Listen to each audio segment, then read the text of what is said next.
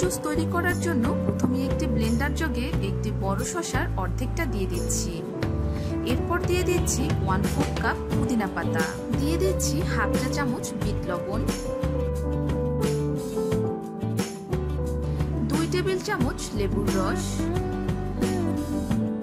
আর দিয়ে দিচ্ছি দেড় কাপ পরিমাণ ঠান্ডা পানি। এখন দিয়ে দিচ্ছি চার টেবিল চামচ চিনি। চিনিটা আপনারা আপনাদের স্বাদ মতো কমিয়ে বা বাড়িয়ে নিতে পারেন। তবে যদি আপনি ওয়েট লসের জন্য শশার জুস খেতে চান, তাহলে অবশ্যই চিনির পরিবর্তে মধু ব্যবহার করবেন। এই ছিল সব উপাদান। এখন ব্লেন্ড করার পালা। আমি আজকে দুই গ্লাস শশার জুস তৈরি করছি।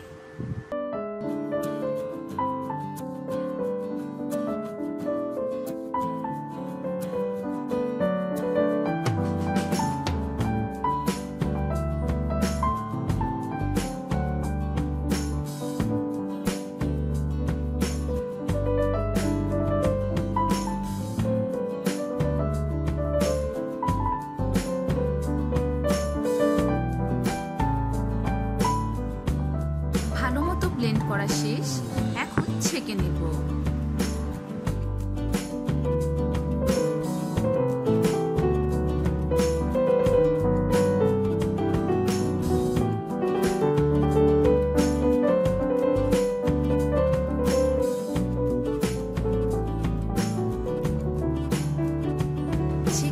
শেষ, এবার পরিবেশন করার পালা। একটি গ্লাসে চার পাঁচ টুকরা বরফের টুকরো দিয়ে দিচ্ছি।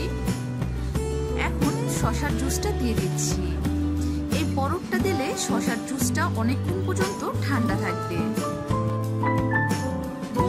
এই শশার জুসটা আপনারা ইচ্ছে করলে এয়ারটাইট বক্সে ভরে ফ্রিজের নর্মাল চেম্বারে রেখে খেতে পারবেন দুই তিন দিন। শশার জুস পরিবেশনের জন্য একদম রেডি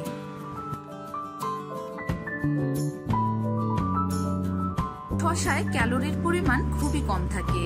তাই ওজন কমাতে, চর্বি কমাতে ডায়াবেটিস নিয়ন্ত্রণে শশা সাহায্য করে থাকে। এছাড়া রূপচর্চায়ও শশার অনেক ব্যবহার রয়েছে। আশা করছি আজকের রেসিপিটাও আপনাদের ভালো লেগেছে। যদি ভালো লেগে থাকে, তাহলে অবশ্যই লাইক, শেয়ার ও কমেন্ট করতে ভুলবেন না। আর আপনি যদি আমার চ্যানেলে নতুন হয়ে থাকেন, তাহলে এই রকম স্বাস্থ্যসম্মত রেসিপি পাওয়ার জন্য আমার চ্যানেলটি সাবস্ক্রাইব করে পাশে থাকবেন। সুস্থ থাকবেন, ভালো থাকবেন।